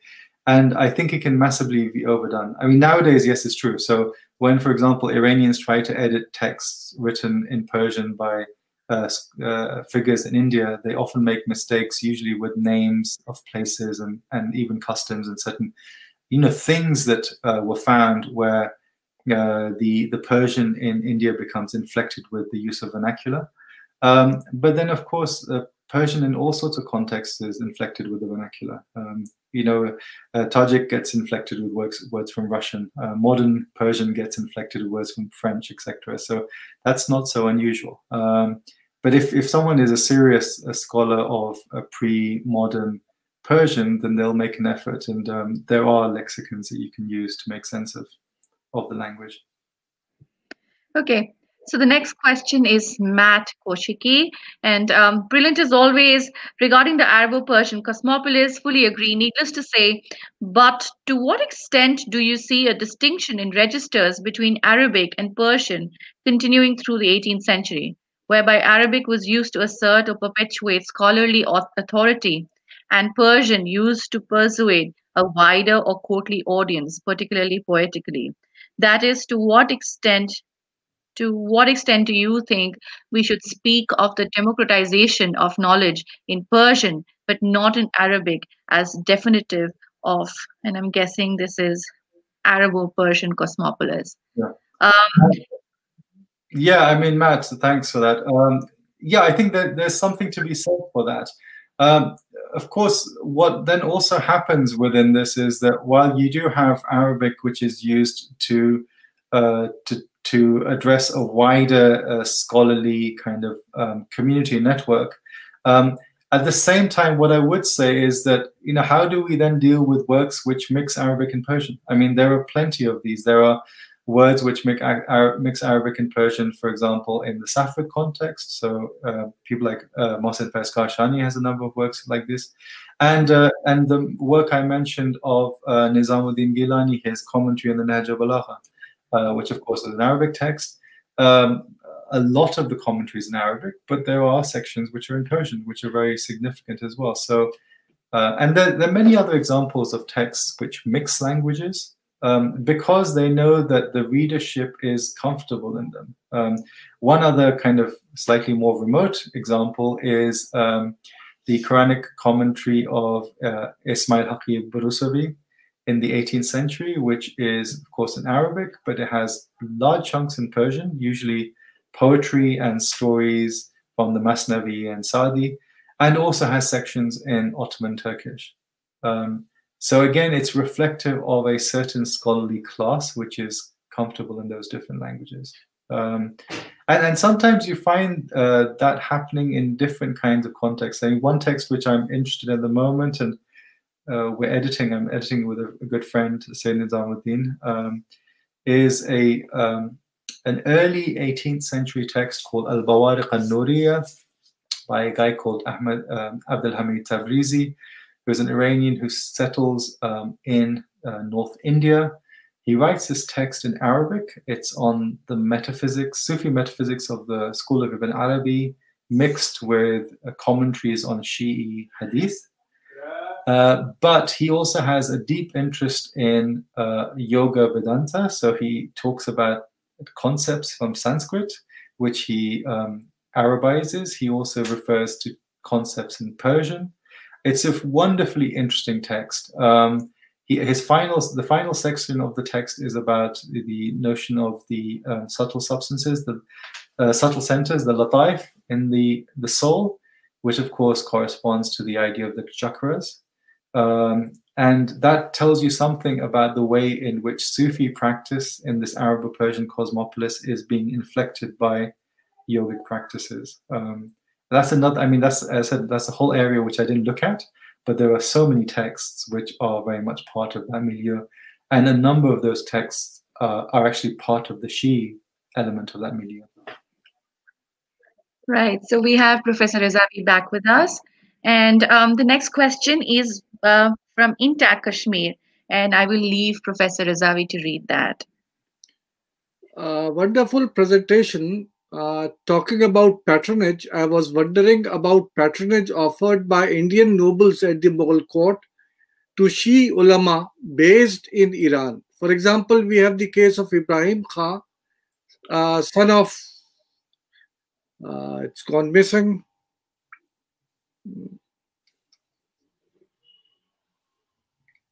Can I have the? I, I was just going to say that you know I, I, did I did mention. Oh, there it is. Yeah. Oh yeah, yeah. Again, uh, the, in the case of Ibrahim Khan, son of Mughal Subedar Ali Mardan Khan, who not only patronized Iranian ulama but also sponsored their visit and compilation of a major Shi'i polemical work, Al Bayaz Ibrahimi in Kashmir. Are there any other significant examples of such instances of patronage of sectarian, that is she of she nature in Mughal India? Um, yes, of course. I mean, I, said I, I, didn't really focus on the Mughal context um, so much. Um, uh, there are plenty of texts. There is, of course, the, the patronage of um, of Iranians uh, coming into the court. Um, what I would kind of uh, push back on is the uh, the mention of sectarian brackets she. I mean, that's not the way I look at it. Uh, I'm I'm not particularly interested in this issue. Um, there are, of course, polemical works which are written. Um, you know, Ihqaq al-Haq and others were written in this context, but I think it would be um, misleading to consider the intellectual um, uh, production of um, these kind of connected uh, Shi ulama in uh, South Asia purely through the um, the prism of, of sectarian polemics. I mean, the vast majority of what they were doing was not that at all. They were not interested in that uh, primarily. Whether that was, of course, in the Deccan or whether it was in the North, it was very much about, yes, understanding what their tradition was. It was about engaging in the maqulat, as I mentioned. Um, you know, the, the, production of polemics is one sort of work, and I, have discussed it. I have a, forthcoming article specifically on the polemics of Sayyid Nurullah Shushtari, who you know famously was executed um, uh, for being Shi'i uh, at the court of Jahangir, or the reasons for that. But anyway, um, uh, so it's not just about the question of the polemics. Um, there's much more going on than, than polemical literature. Well, I think uh, you uh, must have answered the question by Mackie Nack. Yes, I think we did that. Yeah, yeah. And uh, um, uh, the question of Matt. Yeah, we did that.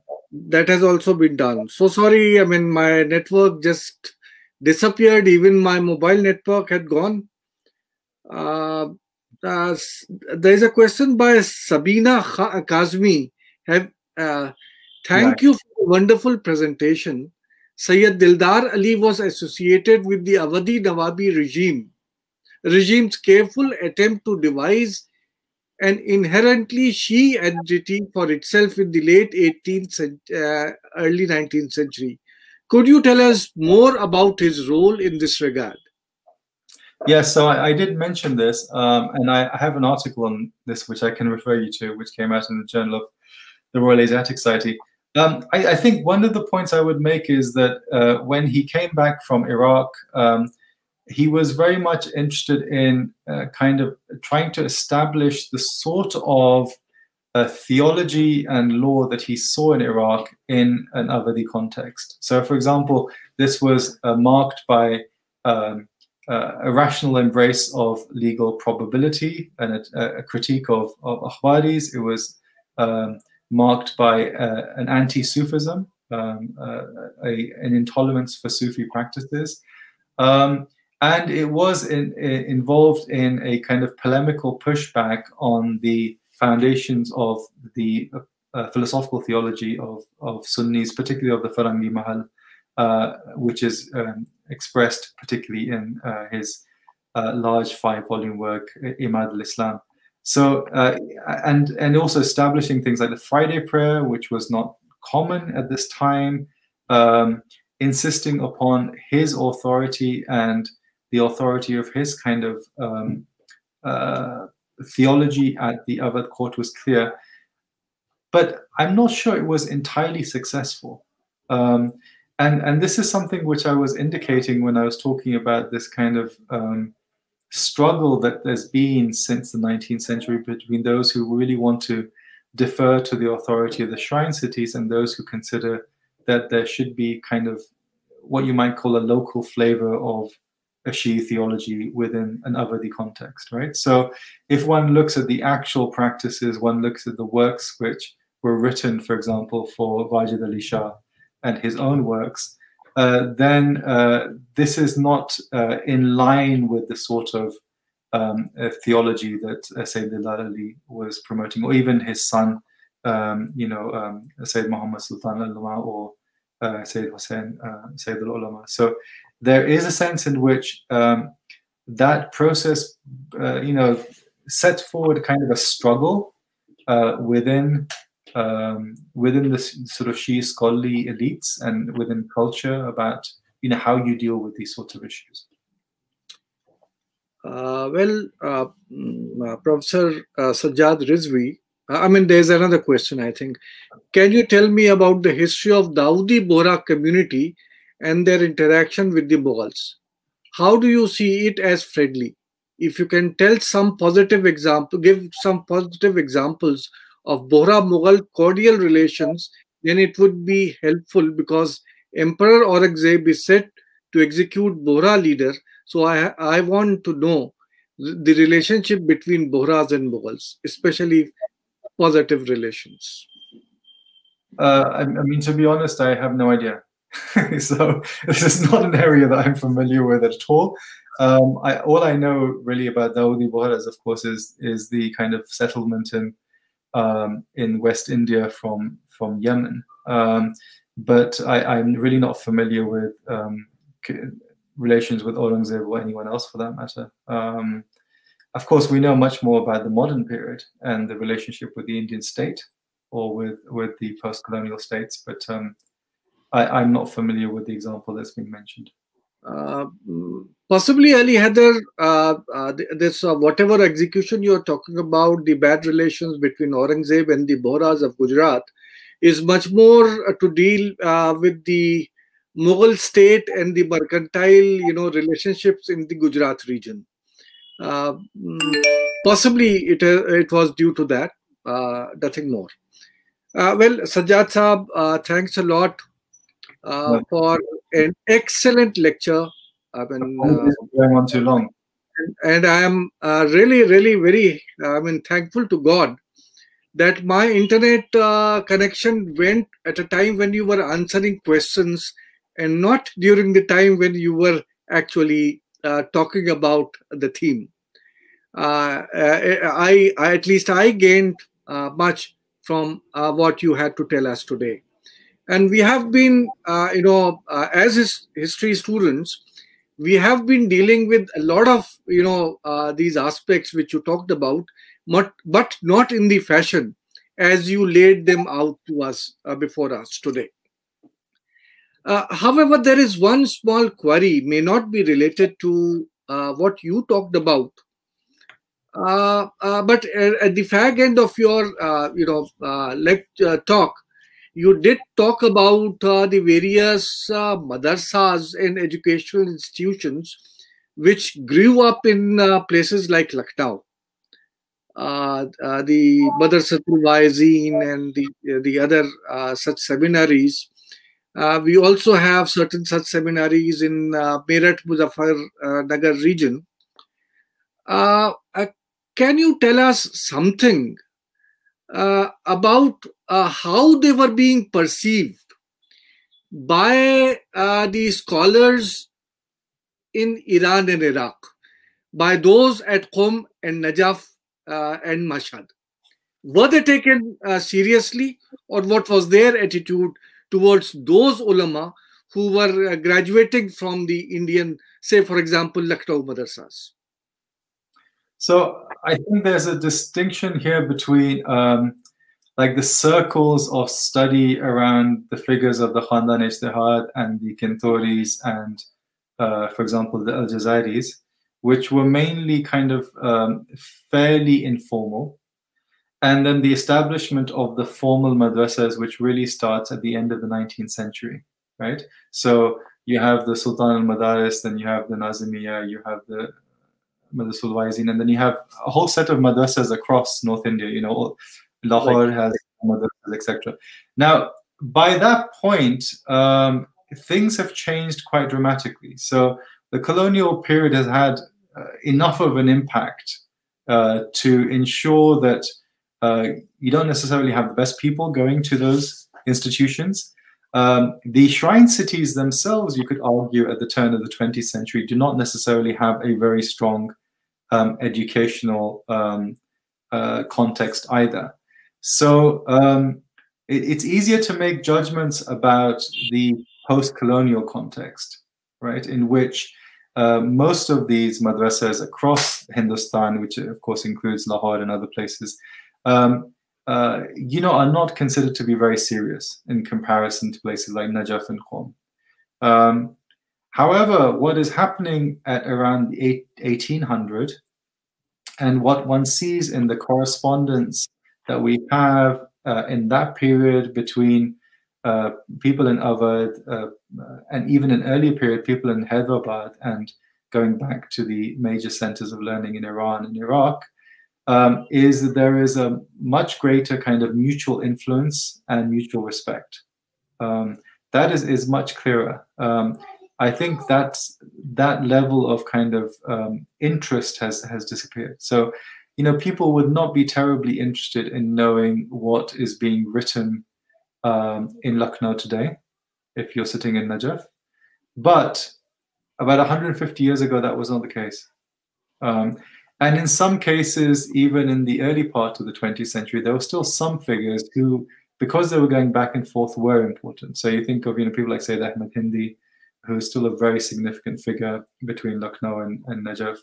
Um, and uh, the young uh, Sayyid Ali Naqi, Naqabi, Naqan Sahab, um, who is an important figure between the two. But it's very rare to find many other examples um, uh, who go beyond that. And, and certainly in the post-colonial states, um, things have been very, very different. So the, the level of scholarship is just not the same.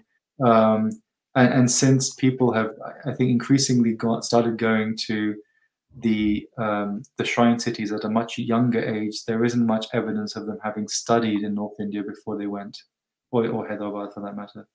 Um, uh, and also with respect to Hyderabad, I, I think there is um, a general kind of decline, or it sets in already after the the end of the sultanates uh, there. Um, so there is, of course, some patronage under the Nizams, but it's not um, anything like what's going on up in the north. Well, uh, thank you once again, uh, mm, Sajjad. Uh, mm, beautiful lecture. And uh, before uh, I hand over uh, to uh, Shagufta, a small request to Sajjad Rizvi Saab and that is that uh, at some future moment of time, uh, we would request him uh, to join us once again, uh, and this time uh, talk about Qazi Nurullah Shustari. Uh, you know, that is a topic which I had offered you, yes. but uh, because by that time you were quite uh, bored by this type topic. You have written about it you have spoken about it. But as far as we indian historians are concerned uh, qazi is still a very burning issue uh, with us. Especially uh, especially after uh, that new source discovered from the period of jahangir with jahangir's own comments uh, he himself denying the fact that he did not execute uh, Qazi Nurullah because of any religious causes. So mm. after that, I think uh, a revisit to this issue of Qazi Nurullah Shustari is very much needed. Uh, mm, and so I would request you, uh, Sajjad, to uh, heed our request right. and uh, say sometime uh, uh, after April. Uh, sure. Yeah, I, I need to actually go back and look at that further. Um, I'm, I'm actually more interested now in his theology. Um, yes. There is a, there is actually a wonderful PhD being done on him right now at Harvard uh, uh-huh. by Shahbaz Shaban. So um, he will, I think, have something for, more interesting to say on that aspect. But um, I do need to also look at the. I'm not. I'm not convinced by uh, the Majalis being a, a big um, change. Um, but anyway, we'll, oh, exactly. Yeah, yeah, yeah, yeah, yeah. It doesn't tell us anything new, really, to be honest. Mm-hmm. Mm-hmm. yeah, sure. We could we could definitely go back to uh, Sayyid Nurullah. Um, yeah, yeah, yeah, yeah. And thank you very much, Shagufta. Please, uh, the thank future you. programs and yeah. Thank you so much for the wonderful talks at Jatsal. And what a better time than the birth anniversary week of uh, one of the Persian, Sanskrit, and Braj scholars and influential Shia noblemen of India. And uh, this is, I'm talking about Abdul Rahim Khanekhana. And so, someone we all grew up reading in school, and of course, we respect him. And this is the time when we have a Asha Ganga Jamani um, talk uh, coming up in January on um, Abdul Rahim, um, focusing on Abdul Rahim. Um, for Ganga Jamni, Asha, and particularly myself, it is a subject closer to my heart. Um, that what I would have imagined at the start of the discussion. Now, um, there's so many threads from our earlier talks that crossed and connected today. Um, it was where it was only yesterday that one of our guests, Professor Tahir Kamran uh, from Pakistan, had marveled at how Persian is still alive in India. While it does surprise, nothing gives us more pleasure that to learn that ideas and manuscripts have somehow survived and thrived, something that you brought out so beautifully in your section of the Dakhan. Thank you also for shedding light on intellectuals like Nizamuddin Gilani and Sheikh Bahai. Not long ago, we had on the page of Ganga Jamni initiated a discussion on an illustrated copy of Sheikh Bahai Nan and Nanul Halwa, originating in the uh, Indian Dakhan. There is another connection here today. Mullah Sadra was also one of the murids of Sheikh Bahai.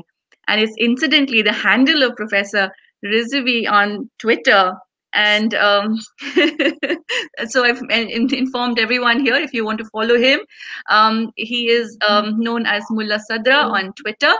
And I also want to say that we started um, earlier this year with uh, the focus on Shia practices in the Qasbas.